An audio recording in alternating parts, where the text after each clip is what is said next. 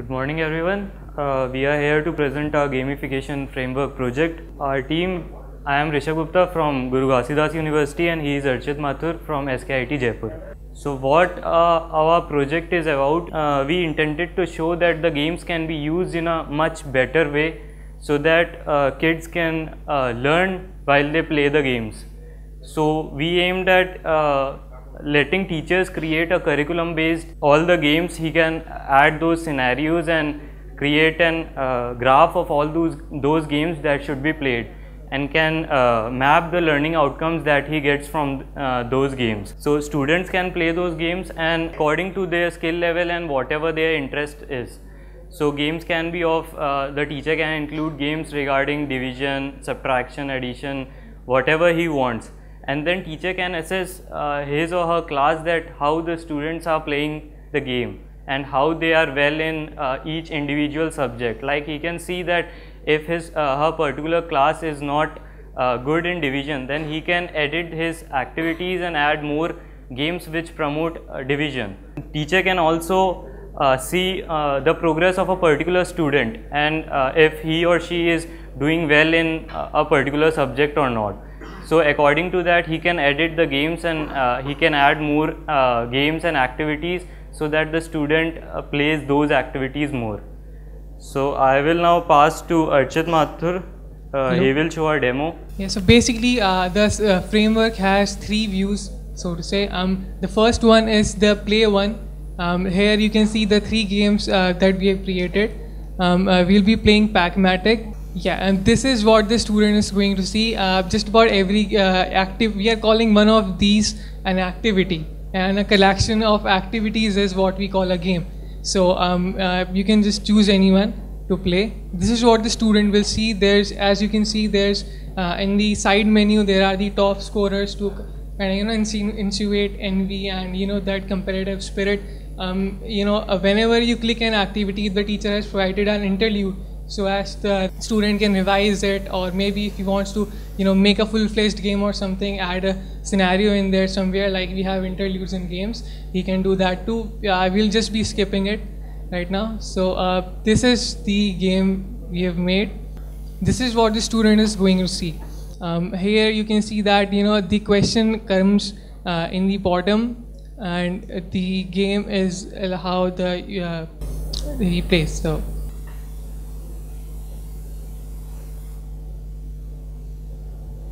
once you get bored enough of it, or um, you have crossed the maximum score, or you run out of life, you will be uh, prom- You can go back via map, and uh, okay, so that's enough of games. You know, this is what a student, this is what students can do. Now about the teachers, um, you know, there's no point in actually students just playing the game if the teachers can't analyze it. So uh, we've added that too. So if you could go to home, you can see that there's this uh, button called assess and it- that is it's mainly for teachers. And you know the game that we played just now that we want to assess is Pacmatic. So he'll be setting that.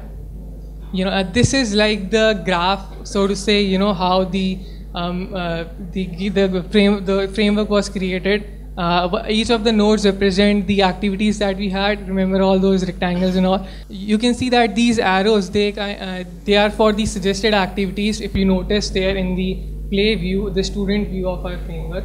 And when you click on one of it you know it will show you how the class is done in it.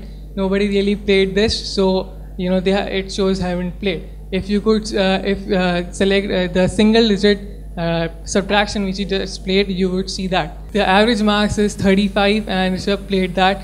He's like we only have limited users right now and he's the only one played it.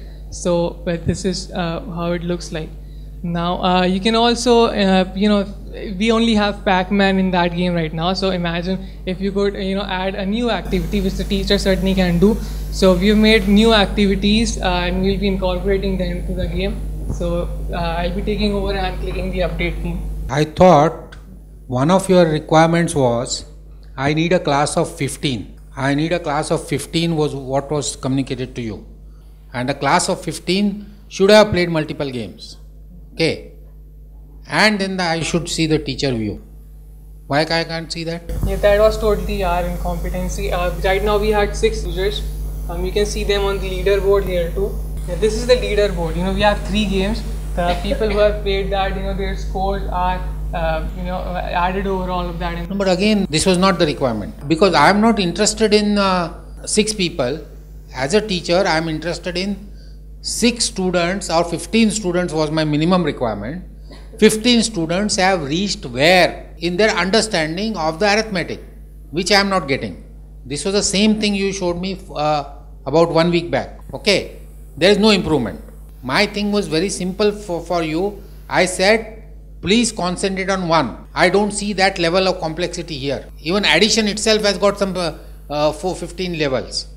Yeah, which is what we just showed you. You know, in that. What you showed? section. Show me, show me 15 addition levels. This is the single digit addition. Uh, what else you have? This is the two digit addition. Correct. This is two digit with carry. This is two, uh, um, and they are multiple. You can search it. And, and that's the end of it. Addition of 2 digit with carry. Where is addition of three 2 digit without carry? Huh, there is yeah, there is two digit without carry, Single digit with carry without carry. and they are multiple. So you. No, that's okay. Addition, you have, you have got 4 levels of addition. fine. Where are my 15 students in the 4 levels? Where is that view at all? Uh, the student view is this. Um, you Not student view, yeah. Uh, like, Student view itself is wrong. The student status. Uh, student status. Show me student status 15 digits. So you. Uh, where is my class on, on in addition? This is all the dummy data we have. Where is my class on addition? Yeah, I am teaching first standard or I ask my students to do. Yeah, I, I played this. So um. Uh, You played this is immo- immaterial. I am saying where is the teacher's view? Where is my class of 59? You are given 6. Where are those 6 on addition? Actually, all those six have not played that game. Yeah, but then, then you are not given. Actually, you are not. You have missed your boat. And this was the status one week back. I said I am happy with the games you have written. Okay, but your objective was not writing games. Your objective was creating a gamification framework. And for the throughout the project, I had said I want addition. I don't see any framework for addition. There are only four for some reason. When I go, I can, I can see 3D addition. It is not part of the frame framework no, and you expect the teacher to go all the way around finding out where it is the whole purpose you have lost okay let me tell everyone which i insisted on generally. Okay if you are writing a piece of software if you are not putting yourself in the shoes in the shoes of a user you are not delivered anything. You are not here to only understand okay technology. You have to understand the user. So you have failed both. I don't see any teacher view of no, note at all. can, Uh, add new activities to that game. You know, it's even if come on I, how many times i have told both you i have told virtual chemistry lab i have told the chemistry people in the beginning in front of everybody okay there is not going to be any teacher who is going to use your product This is the You- three digit addition. Even if it was not there, you can add it. Arey, I forget it. Nobody is going to add. Your your view. You are supposed to. You are supposed to have delivered a product with proof of concept. I don't see proof of concept. I see. I have just done technology. You. I have given you wood. I have given you the tools. Now you can create a table. You can create this. You can create a big house. Why the hell do I bother? I got a great tool. When you are not even shown me a table, after insisting that you show me a table, you are not shown. And this I told you about I think two weeks back, not two weeks back, probably one week back. Okay. Since after telling you, please deliver me this, please, you are not doing, that means I am almost 100% sure. I'll stake my uh, experience on it. Okay. That what you have done is not usable. I don't see any reason why I do not have a, a full arithmetic framework, not shown in this manner, shown in a manner which is usable, and a tracking of 15 people. Almost everybody I asked, unless there is test data, okay, the project is useless. I don't know. Oh, anyway, so this is, as far as I am concerned, you did a, a, a good job, but it is dead. It doesn't start anywhere. It will never be used by anybody. So you are not showing me something which which people will believe in. I don't believe in it. There is no practical use of this gamification framework. As a teacher, I don't know. I have got 15 students, where they are. Okay, what should I tell my uh, student next? Who, who is the best in the class? Who is the worst in the class? In uh, single digit addition, in subtraction, actually see the in subtraction, please. You are showing me a dump of a database.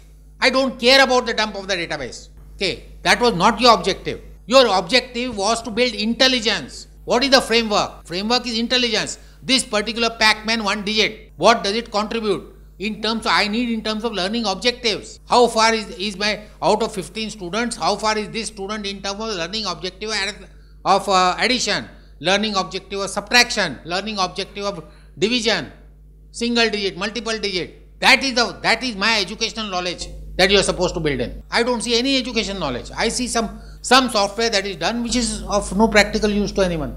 Okay, absolutely no practical use to anyone. Since I was the mentor for the project, okay, I know that you you are you are not done what you are supposed to do. That is certain. Okay, so now let's go to learning. I don't want to see see what you have done. You have shown whatever you have done. You have shown you have shown a game. That game also I, I didn't interrupt. But does that is that game okay does that game change with the ability of the student? Yes yes, yes sir it does? Okay very good. That was one of the things i had asked them to do because it is not a simple game of pac-man. Okay if i have a kid who is who, who's who's uh, that fellow is going slow okay then those eating animals have to be slow. That was my requirement.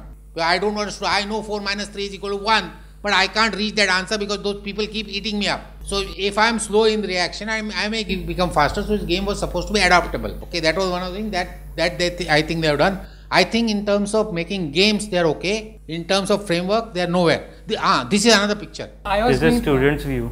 You're correct. What will I do with it? Please come on. Is this what I asked you a question?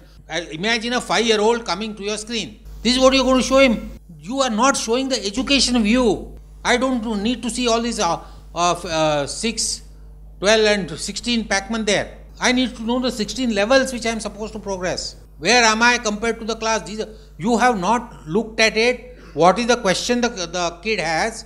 What is the question the teacher has? Hang addition of uh, games. That is not for the teacher, that is not for the student. That is for somebody who is going to, going to help the teacher. No teacher is going to write these Pac-Man games. So somebody had asked a question earlier, do you know who your user is? You don't know who your user is.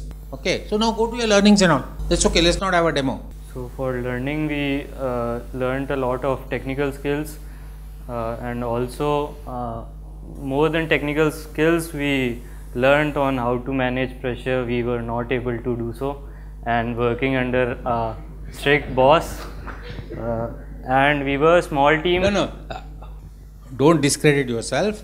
Okay. okay. 2 plus 2, 4 failures out 25 is par for the course for, for me. I am a tough boss, I was always a tough boss. And remember, the objective is for me, I wrote in a mail also, it is very difficult because I don't know any of you. Okay, given a team, not knowing what their strengths are, what their weaknesses are, work assignment is a problem. So, the only way you can manage is by overloading. That is my job to overload you. If I have not overloaded you, then it's my failure. I am disappointed because it's a lost opportunity for me. What I asked you to do Okay, if you have done your framework properly, what I asked you to do is very easily doable, and that is one more thing which you have to learn. After you write the software, you need about 20 to 25% of the effort, and that is needed. That is creating what I call as marketing material. Marketing material can only be created if you use your software. I did the same thing with Cubans. I asked them to prepare some at least 5 6 good looking these things same thing was done with all the projects. Okay, so you have failed to create marketing material, and it's the lost opportunity. You were on to something good. Now the only reason why after I told you, kept on telling you lost opportunity, you have not done it. Okay, that means all that you are showing me about the framework probably doesn't work. I'm almost sure it doesn't work. Otherwise you would have done it. Okay, which is fine. Future scope, uh, we can certainly create if we have more time and probably more manpower. We can certainly make it, uh, you know, more than a lost Great, great. I agree. If you had more time, you have got till December. Okay? No, seriously. I am not going to publish this. Okay. By the way, all my projects are going to be published and kept alive for two years till these people uh, go through interviews so that they can show as is. I am not going to change that. Whatever I will change will not be part of whatever is published. Okay. So now to get your stuff published, you got six months. Enough time. Another thing was that uh, right now we are only taking uh, score as uh, in the game, but games offer so much more. You know, accuracy, uh, reaction time, and winning streak, or maybe even losing streak. We can implement that. Uh, certainly, we have till December, so probably we'll try to. Um, and th- that's basically what it is. So uh, also, you know, uh, uh, it can also be extended to you know languages and other things. It's only maths right now, that to primary. So you know that that's also one of the you know things for future spoken. The most important improvement is to be education oriented. You are uh, trying to see how games can be used in education. I don't see education language. Winning streak, losing streak is not education language. If you if you can put education language in your gamification framework, we will publish it. Okay, not winning streak, losing streak, it is all immaterial. You are not creating a game. You are saying that kids are spending time without learning anything on playing all kinds of game. Let me see if I can leverage okay games so that they will also learn. Learning is a primary objective, not winning streak and losing streak and all that. Not the primary objective. Secondary objective, yes. Okay. All right. Thank you.